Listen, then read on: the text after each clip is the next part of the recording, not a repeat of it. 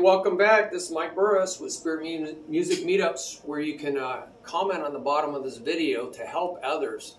You know, we're supposed to each bring a lesson. That's what 1 Corinthians 14 26 says. So look at the body ministry and the teaching tab. So this is not one guy wearing all the hats. I have a lot of hats, but you have hats too. So we're on blog topic number two of unconditional love, dealing with a really touchy subject. Uh, I hear a lot of Christians go off the deep end on this. It's really caused from horrible translations of the Bible and horrible preaching from those horrible translations. The Bible was not written in English. It was written in Greek, and sometimes it takes 17 words to describe uh, good when Jesus says only God is good. So you're not going to get any idea of what he's talking about until you know what the word agathos means. And so you can use these tools. Bible Hub and uh, Classic Net Bible are really great. So we're on the subject unconditional love sometimes has to be tough, uh, but it is still love. So it is called a just judgment. So let's look into that. God's tough love. Okay. This is a really tough subject, pardon the pun. Says, I have an exhaustive 29 page study, if you want. It's called uh, Forgiveness versus Judgment. With all the Bible references, language studies, historical proofs, and all this. So you can hit the contact page if you're interested. But I'm going to hit some of the key things here. In our politically correct environment, it seems everybody is quick to quote Jesus. He says, uh, Judge me not impossibility uh, I'm sorry, may is a Greek word may, not impossibility. Judge not impossibility, and you will not impossibility be judged. So we like to quote him, but almost always take him out of context. But a fuller version links this to uh, this word katadikazo, katadikazo, condemn as guilty in possibility not, and you will not in possibility be condemned. So he's linking it. So the Greek words for linking means they're coupled together. Uh, and then he says, uh, Forgive and you will be forgiven. So I give you the verses of this. In this latter version, because of the connection to condemnation, which is krino judgment, krino is the word where we get criticize or critique, uh, in mind, is likely an act uh, acting like a court judge who separates into two piles, right? Guilty and not guilty. To free or loose people as either innocent or bind them or and condemn them as people as guilty. So you're binding the guilty and condemning, you're passing sentence and you're saying you're guilty, this is your sentence, and then you're loosing, you're releasing the innocent, those who are not guilty. This is not an absolute fact. Notice he uses uh, may instead of oo, which is absolutely in, in, in fact. So this is setting up a possibility. This allows for God's unconditional loving uh, favor of grace. See, grace is undeserved, unmerited. Through the blood of Christ to exact justice uh, upon our failures, thus the final uh, thought, forgiveness. Okay, so what he's saying is Look, he can forgive because even though we don't merit forgiveness, he can forgive, and that's called grace. We also have to remember that Jesus is talking to Jewish people on a hillside.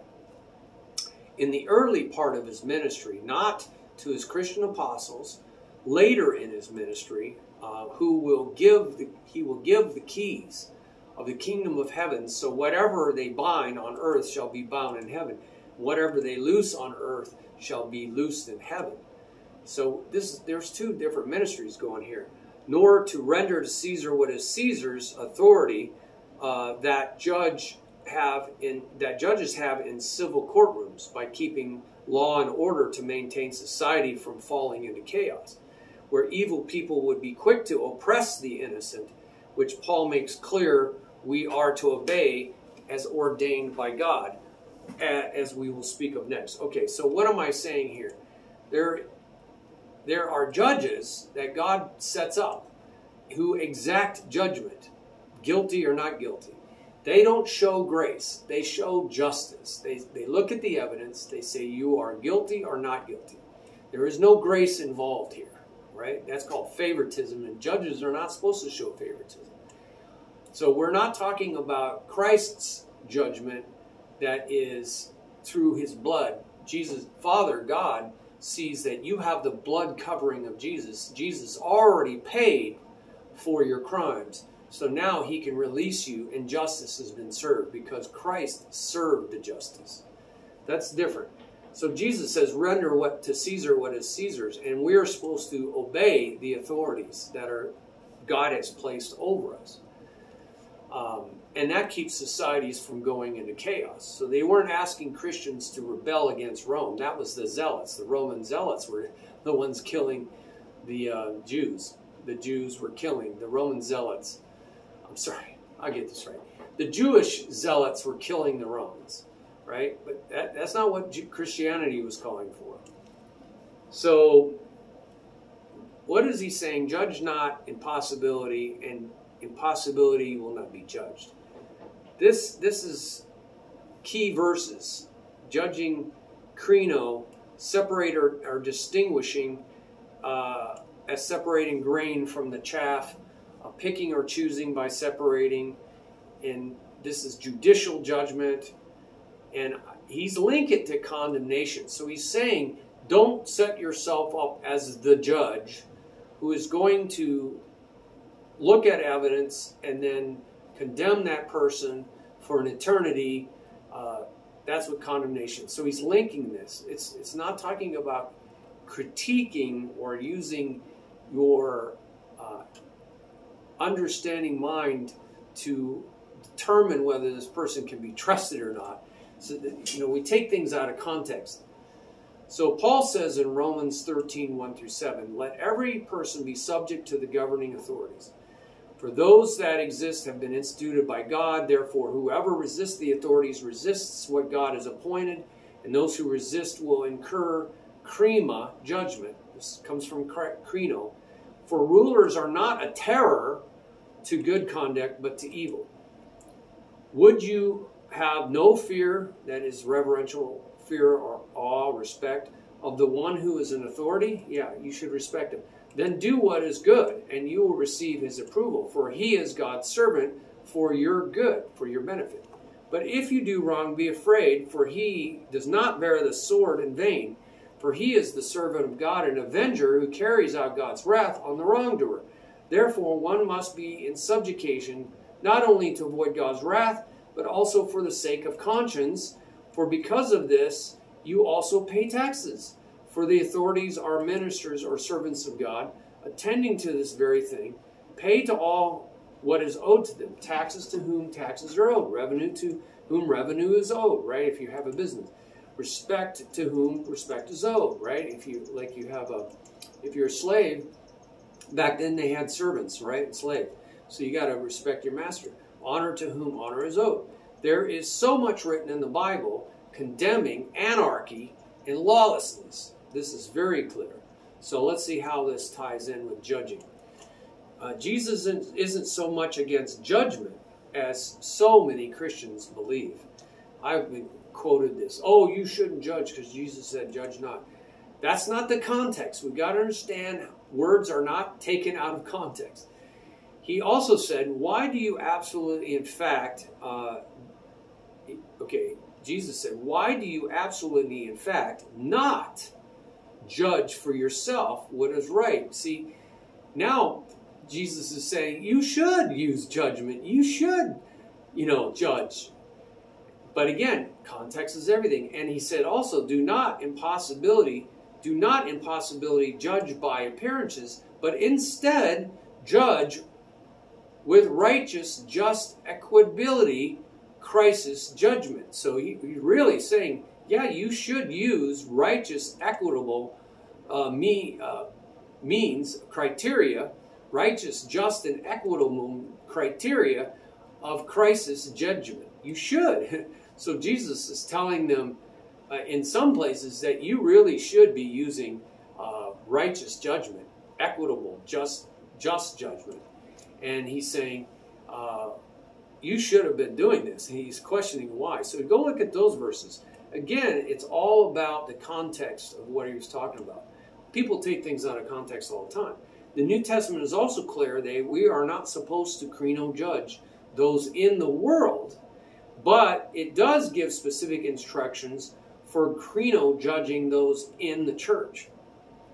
For example, 1 Corinthians 15 11 through 12 and 2 Thessalonians 3 6, concerning Christians practicing sin who won't repent, Paul says, do not even associate with them and even or even share a meal because it is not those inside the church whom you are is it not? He says he's asking a question is it not those inside the church whom you are to krino judge? For as peter also says krino judgment does begin in the house of god.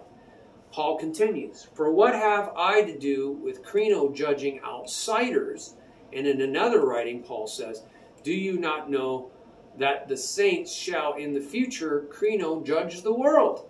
And so, if the world is to be krino judged by you, are you incompetent to krino judge trivial cases? They had, you know, disputes among themselves. They were supposed to settle these. They were supposed to weigh the evidence, bringing one, one or two witnesses, right? Two or three witnesses. Later in that letter, Paul says, "But if we diakrino, discriminately judge ourselves, we should be doing that ourselves. We would absolutely, and he's talking about ourselves plural, the church should have been doing that. We would absolutely, in fact, not come under continual, repeated krino judging. What was happening? They were getting sick and dying because they were under the judgment. Satan was going at them, man. But when we are krino judged by the Lord, that's judging ourselves, allowing the Lord to judge us, we are being little children trained. There it is, Paideia. I mentioned that in blog topic number one. This is the discipline of the Lord. We are being Paideia where we get pediatrics. This is little children type of training when we allow the Lord to judge us, when we come under the truth and allow Him to look into us and say, you know, that's wrong you know, that's wrong. Let's get it. So that you may not be katakrino, that's judged down upon, that's like sentencing, along with the world. You know, the world is condemned already. It is katakrino. It says that in John 3.17. You know, we always like to quote John 3.16, oh, God loves, loves the world so much that he sent his own son. But it says they are already condemned. If they don't receive the Lord by faith, they already are sentenced to condemnation. That's what it says in the, in the verses that nobody quotes. This is likely the type of discipline I was talking about in blog topic number one. And there's some other links there you can look at. And there's so many uh, notes here that I just blew right past. So you want to look at all that information. Jesus also gave clear instructions, which few churches follow on dealing with Christians in unrepentant sin. First privately, then with two or three witnesses, then to the whole church. There's a whole process here. Only restoring them gently if they repent. Otherwise, treating them as they would a Gentile or a tax collector. He's talking to Jews here. Jews knew how to treat a Gentile. You don't eat with them, you don't even go into their house. You do not go into their house or eat with them. That's what they were supposed to do to brothers who would brothers and sisters who would not repent. Or as a tax collector. They didn't hang out with tax collectors. They were traitors. They were sold they were Jews that sold themselves out to the, the Jew to the Roman army, to the Roman government. And and this is really tough love. Jesus is saying, you got to do some tough love here. Paul also says those of the Spirit should restore sinning Christians. All right, should, of the Spirit, those of the Spirit, those who are of the Spirit, they are Spirit guided. They are walking by the Spirit, not in the flesh. They're not going to get angry and go try to fight, you know pick a fight. They should restore sinning Christians by the Spirit of gentleness, for the nature of unconditional love, the singular fruit of the nature of the Spirit includes gentleness. So there's a way to restore these Christians if they repent. However, the balance of fair, equitable, just judgment within the church is expressed by James 2 4. I gave you a bunch of verses. My brethren, there's a balance, a fair, equitable, just judgment. My brethren, show impossibility, no behavior in by with uh, there is partiality. Don't show any partial partiality behavior. If you pay attention to one who wears fine clothing, while you are otherwise, uh, but while you are otherwise to the poor man, so you're showing no attention to them, have not then you diakrino discriminately judged, you're discriminating, right, in your judgment among yourself, yourselves, these Christians, and thus become judges, like they were judges, with evil, he says, with evil thoughts. Yeah, these, these were judges that were had evil thoughts. They were being discriminating. They were discriminating. They should have shown no discrimination. Just judges. Don't do that. Uh, do not speak evil, that is unjust, inequitable acquisition, acquisitions, accusations, I'll get it right, against one another. Christian brethren, the one who judges his brethren speaks evil against the law. See, these were Jewish Christians that he was writing to. And coupled judges the law. See, they were Jewish Christians. But if you judge the law, you are not a doer of the law, because they were they were very proud to be following the law. This is this is before Judaism uh, really separated from Christianity, as Paul Paul really pulled Christianity away from just Judaism.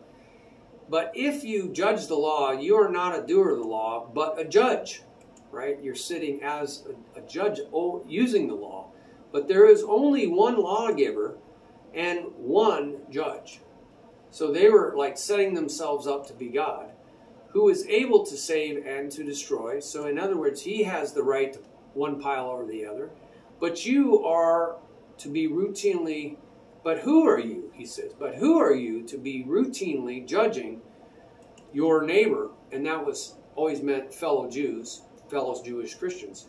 They were, they were judging as if they were the judge, acting like they were the ones using the law. You know, can't do this. So this this is uh, very troubling. So there's a lot that people don't know about judgment, correct judgment, and incorrect judgment, and it's because they don't really do a thorough under um, word search through the Greek in the New Testament about judging. So you got to be careful when you quote verses that it's in context and you understand the Greek. You don't. English is going to be very misleading. Look at the Bible info page here we got it. So um, we got a lot of verses here, and so we got to be careful about judging others.